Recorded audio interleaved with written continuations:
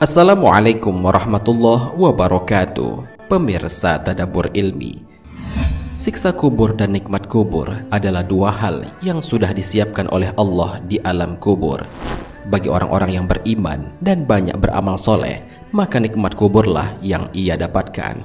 Sebaliknya, bagi orang yang ingkar terhadap perintah Allah dan Rasulnya Maka siksa kuburlah yang ia dapatkan Selain itu, salah satu amalan yang dapat menyelamatkan seseorang dari siksa kubur adalah dengan rajin membaca surat Al-Mulk. Orang-orang yang rajin membaca surat ini kelak di alam kubur akan dibela sehingga terhindar dari azab kubur. Lantas, kapankah waktu terbaik untuk membaca surat Al-Mulk? Bagaimana pembelaan surat Al-Mulk kepada pembacanya? Mau tahu jawabannya? Simak ulasannya dengan menonton video ini hingga akhir.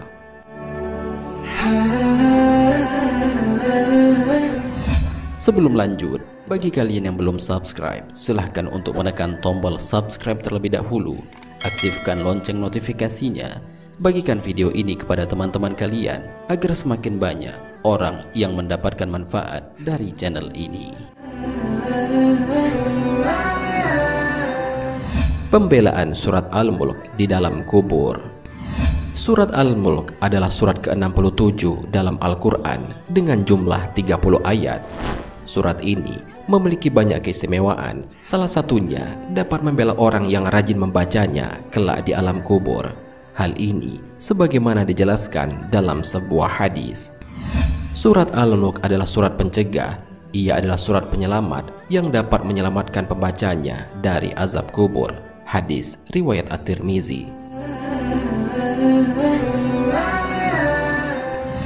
Sahabat Anas ibnu Malik radhiyallahu anhu mengatakan, Rasulullah shallallahu alaihi wasallam pernah bersabda bahwa sesungguhnya ada seorang laki-laki dari kalangan umat sebelum kalian meninggal dunia sedang tiada sesuatu pun dari kitabullah yang dihafalnya selain dari Tabarok atau Al-Mulk Ketika lelaki itu diletakkan di dalam kuburnya, malaikat penanya mendatanginya, maka surat Tabarok atau Al-Mulk menghalang-halanginya sehingga malaikat itu berkata, Sesungguhnya engkau adalah salah satu dari kitabullah dan aku tidak suka membuatmu tidak senang.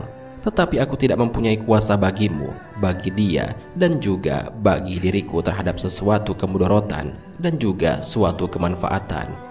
Jika engkau hendak membela orang ini, maka menghadaplah kepada Allah Subhanahu wa taala dan mintalah syafaat darinya buat dia.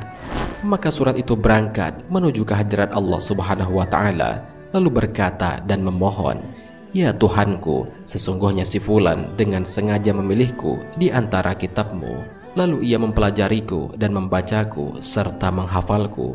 Maka apakah engkau akan membakarnya dengan api sedangkan aku berada di dalam rongganya?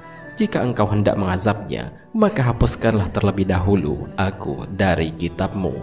Allah subhanahu wa ta'ala berfirman, Aku melihat engkau marah. Surat itu menjawab, Sudah seharusnya aku marah.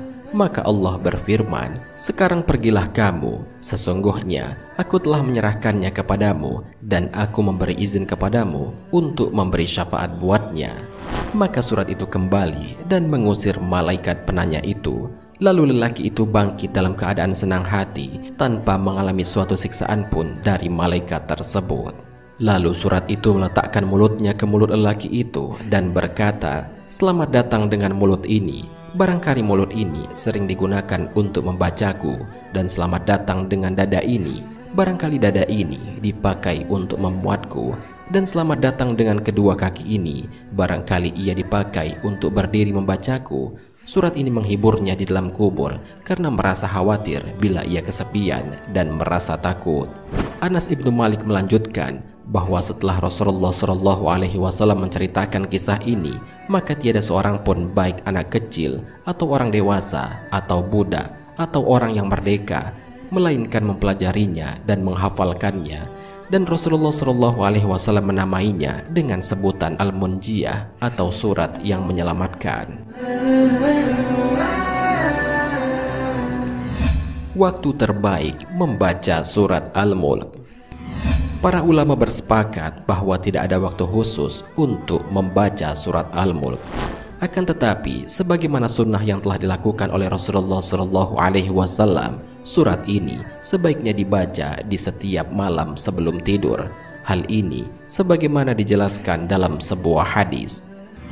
Sahabat Jabir radhiyallahu anhu meriwayatkan, tidaklah Nabi Shallallahu alaihi wasallam tidur hingga beliau membaca Alif Lam Mim Tanzil atau surat As-Sajdah dan Tabarakal Lazi biyadihil mulk atau surat Al-Mulk.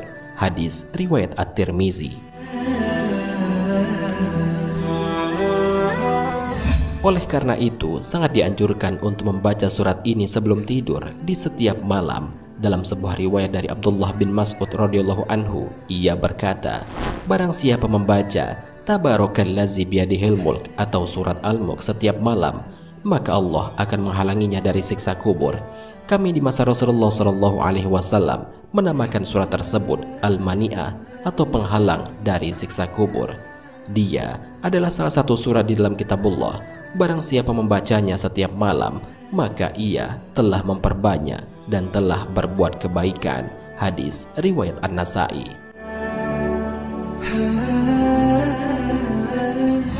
Pemirsa Tadabur Ilmi, demikianlah penjelasan mengenai keutamaan surat Al-Mulk dan penggalan kisah ahli kubur yang mendapatkan pembelaan dari surat Al-Mulk sehingga terbebas dari siksa kubur.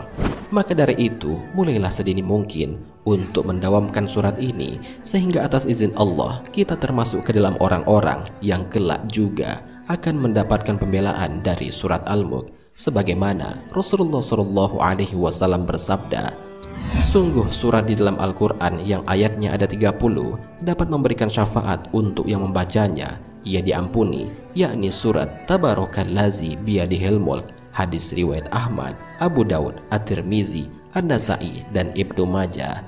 Amin ya Rabbal Alamin. Wallahu a'lam bisawab. Jika terdapat kesalahan dalam penyampaian ini, admin mohon maaf dan itu merupakan kesalahan dari admin sendiri.